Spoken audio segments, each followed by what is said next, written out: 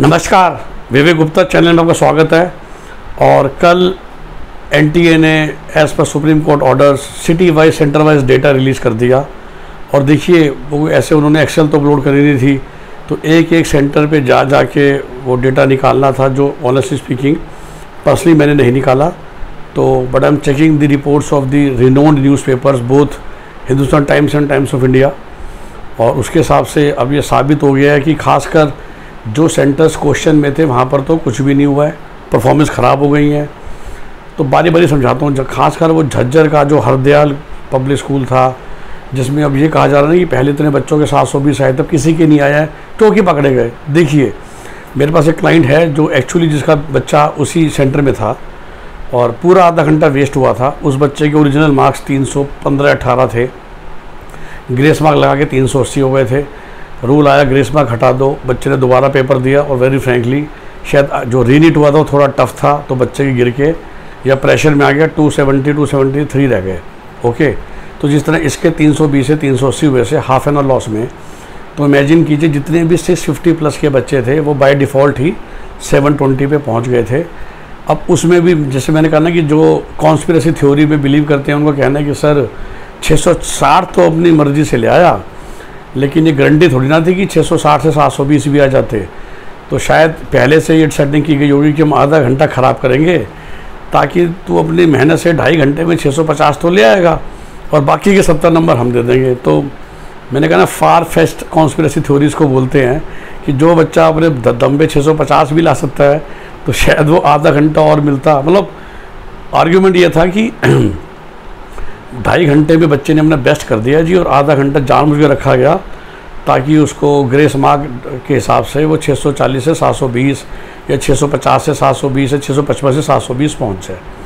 तो ये मैटर तो क्लोज़ हो गया था झज्जर के उस पर्टिकुलर स्कूल का और ऐसे ही दो स्कूल और थे।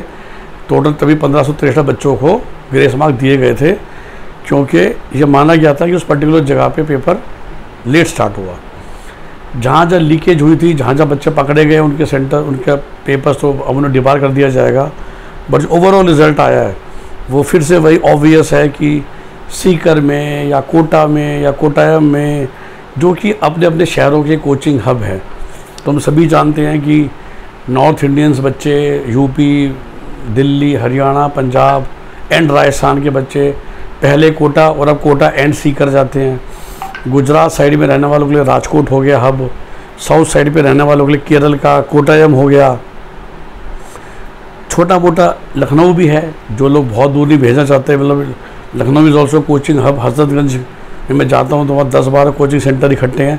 ऐसे तो कानपुर में भी हैं, काकाकिया नगर बोलते हैं तो वहाँ पर भी होता है ना कि उस बेल्ट के लोग हैं, जो भाई कोटा तक नहीं जाना चाहते, वो लोग वहाँ पर आके पढ़ाई करते हैं। और sometime you will look at the very odd schools अब दिल्ली में जैसे एक बहुत अच्छा रिज़ल्ट है, बहुत सारे बच्चे हैं। एक बच्चे ने 700 प्लस भी लाया तो लोगों को लगता है, जी, ये बेगमपुर का स्कूल कैसे होगा? तो हम सभी जानते हैं कि देखिए, कई बार वो डमी स्कूल भी फैक्टर काम करता है राइट तो बिकॉज़ जो दिल्ली में एलेवन ट्वेल्थ कर रहा है डमी स्कूल में, पढ़ाई वो कोटा में कर रहा है, सीकर में कर रहा है या दिल्ली में कर रहा है वो दिल्ली का बेनिफिट लेने के लिए एलेवन ट्वेल्थ दिल्ली से हम सब जानते हैं नॉन अटेंडिंग किया जाता है। मेडिकल के बच्चों का भी नॉन मेडिकल के बच्चों का भी। और चूँकि वो स्कूल थोड़े हल्के होते हैं, तभी वो नॉन अटेंडिंग देते हैं। तो उनका जो सेंटर पड़ता है, वो भी एक हल्के स्कूल में पड़ता है राइट तो उसके हिसाब से फिर आपको रिज़ल्ट मिल जाते हैं बहुत अच्छे अच्छे तो I think with this data ये तो क्लियर है कि वही मास स्केल हज़ार बीस, पचास हज़ार बच्चों के पास, लाख बच्चों से पेपर नहीं पहुँचा था। पहुँचा वही पाँच सौ हज़ार बच्चों के पास था। उनको पकड़ा जा रहा है। मैं फिर से कहता हूँ, क्या पता दो, चार सौ, पाँच सौ ना पकड़े जाएँ और वो इनडायरेक्टली सरकारी सीट ले लें। मैं पर्सनली फेवर नहीं करता, लेकिन मैं बार बार आपको ये कहता हूँ कि मैं भी हिंदुस्तानी हूँ। कई चीज़ों में हम समझौता करके जीना सीख लेते हैं। उन्हीं में से ये है कि अगर साठ, अट्ठावन हज़ार सरकारी सीटें हैं तो उसका एक परसेंट या दो परसेंट हज़ार बच्चे अनऑथराइज भी पहुँच जाएँगे टॉप के सरकारी कॉलेजेस में। तो हमें उस फैक्ट को एक्सेप्ट करके जीना है। मैं भी पेरेंट भी हूँ और मेरे बच्चे ने जो एंट्रेंस टेस्ट दिया, पक्की बात है, उसमें भी ऐसा हुआ होगा। तो latest target the rest 98 percent सीटें। जिस तरह मैं खुल के कहता हूँ कि अनरिजर्व कैटेगरी के बच्चे, भी तो O B C S C S T का रिजर्वेशन आप हंस के कह लो या जैसे मर्ज़ी कह के एक्सेप्ट कर ही रहे हैं ना। तो ऐसे ही आप ये भी समझ लो कि दो परसेंट बच्चे ऐसे भी पहुँचेंगे। मतलब ये कम बड़ा मुद्दा है जस्ट टू टेल यू अब लर्निंग जो मैंने आपको वीडियो के टाइटल में बताया लर्निंग क्या है? लर्निंग शायद फ्यूचर के बच्चों के लिए है, मैं बार बार कहता हूँ। मैंने एक वीडियो में पहले आपको बताया था। मैं आज भी मानता हूँ एंटी ने उस चीज़ को तो बाद में वो करा एक्सेप्ट मैं पाँच मई के बाद ही कर रहा था, क्योंकि कई बच्चे हमारे पास जो मिलने आते हैं सबने कहा था, जी सिलेबस कम हो गया था paper was relatively easy so paper may now be always easy in the next coming years तो कभी भी, और ये मैं जनरली जो मैं बात करता हूँ एज ए करियर काउंसलर कोई मेरे पास आता है ना, कहता है, सर, मेरे प्रैक्टिस टेस्ट में इतने आ रहे हैं। मैं कहता हूँ, ये बता क्लास में तू कहाँ स्टैंड कर रहा है? मतलब परसेंटाइज स्कोर जिसे कहते हैं।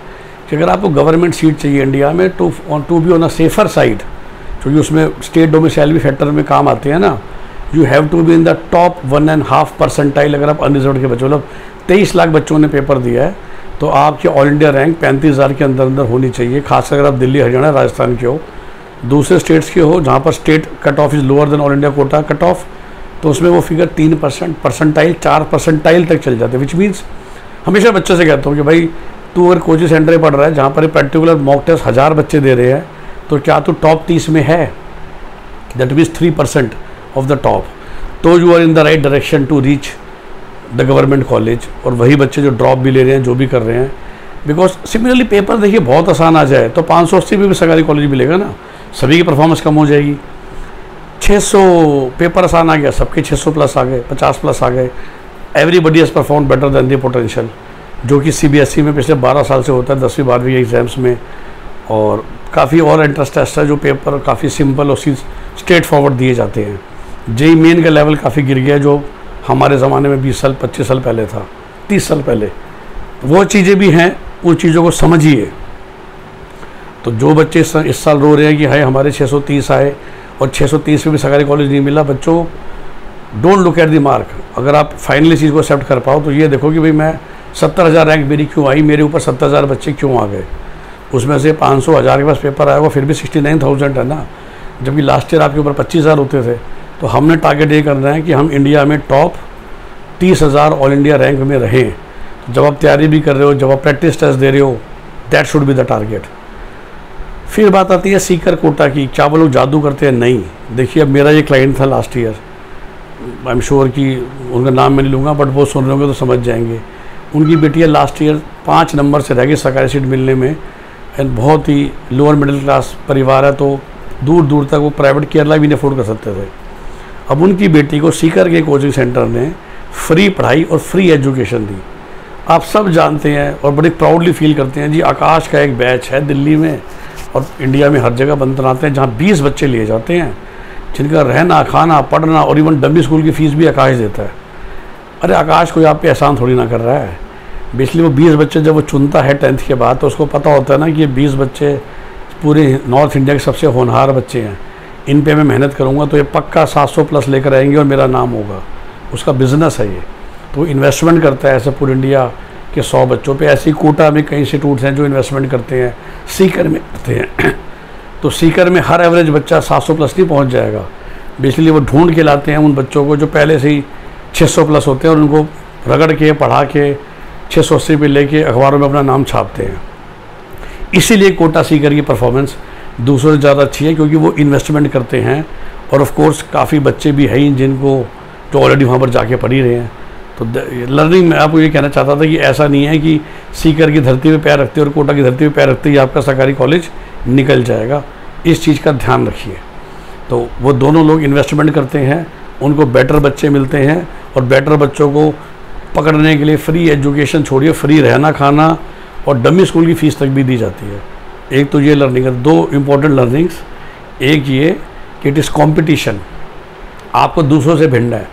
तो जब भी आप, क्योंकि ये ये बच्चे जो भी ड्रॉप लेने वाले हैं, आप हमेशा देखो, तभी ना हमेशा ऐसा होता है कि एक फलाना टेस्ट है, वो दस हज़ार बच्चों ने लिया। सो दस हज़ार बच्चों में आपको टॉप दो परसेंट में ऐसे टारगेट रहना है। मतलब कि आपकी टॉप दो सौ में आपका स्कोर हमेशा होना चाहिए। हर प्रैक्टिस टेस्ट में जो भी आप कोचिंग में लेते हैं, उससे फिर भी आप इन द राइट डायरेक्शन है टू रीच द सरकारी कॉलेज नॉट दी मार्क्स मैं हमेशा कहता हूँ ना मार्क्स इंपॉर्टेंट नहीं होते हैं कंपटीशन एग्ज़ाम में रैंक बिजली आप दूसरों के मुकाबले कितना परफॉर्म कर रहे हो? आपको शायद पता ही नहीं होगा कि ट्वेल्थ क्लास में कॉमर्स में 99 परसेंट ला भी आपको श्रीराम कॉलेज ऑफ़ कॉमर्स नहीं मिलता था। अब तो क्या सीयूटी आ गया लास्ट ईयर से। पर 2021 में 99 परसेंट ला भी आपको Shriram College of Commerce B Com honours नहीं मिल रहा था, जो कि 25 साल पहले 85 परसेंट भी मिलता था। Because competition has increase students are far more putting hard work and the paper level has decrease तो इस सब का कॉम्बिनेशन होता है। तो जो बच्चे अभी इस वीडियो को सुन रहे हैं, अगर at least for next year always when you are preparing prepare looking at the competition not look at yourself only in second thing Sikar Kota या कोटायम बहुत शानदार रिज़ल्ट निकाल रहे हैं वो इसलिए निकाल पाते हैं कि उनके पास बेटर सेट ऑफ़ बच्चे आते हैं। फ्री में वो लोग उन बच्चों को पढ़ाते हैं। रहना खाना भी फ्री देते हैं। वही बच्चे फिर रिज़ल्ट निकालते हैं। उसी वजह से ये सीकर और कोटा के कुछ सेंटर्स का रिज़ल्ट एक्सेप्शनली अच्छा आ रहा है। ओके सो बेस्ट विशेष बच्चों best of luck looking at this data I think now कल रीनीट का केस कैंसिल कर दिया जाएगा। काउंसलिंग शायद थर्सडे से स्टार्ट होगी, मुझे कुछ कॉलेजेस ने बताया, जिनसे हम मिलते हैं कि उनके पास मेल आ रखी थी कि भाई, इस वीकेंड तक आपने सीट मैट्रिक्स अपडेट करना है। मतलब कल तक 20 तारीख तक तो फिर अब 22 तेईस को अपना सॉफ्टवेयर अपडेट करके एमसीसी का राउंड वन शायद चौबीस से स्टार्ट हो जाएगा और स्टेट्स का फिर राउंड चार या पाँच तारीख से स्टार्ट होगा। Okay best wishes best of luck हम हमेशा कहते हैं कि हम टोटल सौ क्लाइंट लेते हैं M B B S B D S और M B B S abroad मिला के। और thankfully we are already in eighties और कुछ हमारे साथ जुड़े हुए हैं, जिनकी पार्ट पेमेंट आई हुई है कि उनकी गलती थी वो बेचारे वेट कर रहे हैं कि फाइनली काउंसलिंग स्टार्ट हो जाए। So now from now on we have stop talking on the phones that contact us और होपफुली बाय दिस वीक अगर वो रिज़ल्ट तीन दिन में आ गया तो शायद पाँच सात दिन बाद मैं इसी वीडियो में आपको बोल रहा हूँ कि मैं कोशिश करूँगा आपको ये अच्छी और सच्ची जानकारी देने का वीडियोस के माध्यम से। बट शायद मेरे पास समय नहीं होगा कि हम पूरा काम करना तो बहुत दूर की बात रहेगी। शायद वो जो ढाई और पाँच हज़ार रुपये की मीटिंग्स है, वो भी हम स्टॉप कर देंगे। क्योंकि एक बार जब पूरे सौ क्लाइंट का काम शुरू हो जाता है then I will not have time to speak to new people क्योंकि हमें उनको भी तो पूरी सर्विस और पूरा ध्यान देना है जिनका जो हमारे साथ जुड़ गए हैं और हम पे भरोसा कर रहे हैं। सो so, कह मैं इसलिए रहा हूँ कि और पाँच सात दिन बाद आ, मैं वीडियोस कोशिश करूँगा आपके लिए बनाते रहने की लेकिन हम आ, नए क्लाइंट्स लेना और फ़ोन और जूम मीटिंग भी जल्दी बंद कर देंगे। मतलब मेरी टीम तो कह रही है सर अभी बंद कर दो। मैंने कहा, देखते हैं, लेकिन हो सकता है कि एक बार काउंसलिंग स्टार्ट हो और हम बंद कर दें। So please don't mind and आप समझिए कि जो भी ऐसी कॉमन जानकारी होगी, मैं वीडियो के माध्यम से देता रहूँगा। कमेंट्स का रिप्लाई भी शायद उतना ना कर पाऊँ क्योंकि तो मैं सुबह सुबह पाँच बजे उठ के आपने नोट किया होगा कि मैं रिप्लाई कर देता हूँ। समझे बात को, एक बार सौ लोगों का काम करना है। सबकी स्ट्रेटजीज रेगुलरली बनानी है डिस्कशंस करनी है उनके साथ फॉर्म फिलिंग करनी है।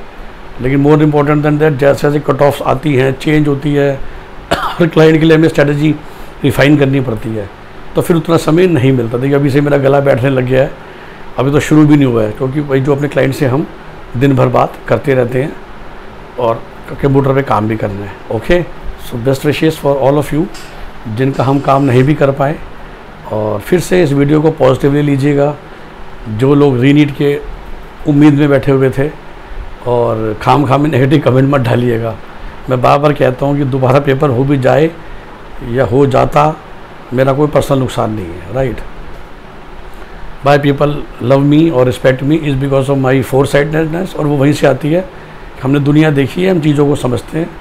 और रिपीट कर रहा हूँ मैं मैं भी पेरेंट हूँ तो मैं पेपर लीक को भी एक्सेप्ट कर चुका हूँ रिजर्वेशंस को भी एक्सेप्ट कर चुका हूँ और आसान पेपर मुश्किल पेपर वो सब फंडे मुझे अच्छी तरह क्लियर है। ओके आपको भी नहीं हो पा रहे तो कभी मेरे नॉर्मल वीडियो सुनिएगा जो करियर काउंसिल से रिलेटेड होते हैं तो आप ये चीज़ें और गहराई में समझ पाएँगे। नमस्कार बाय टेक केयर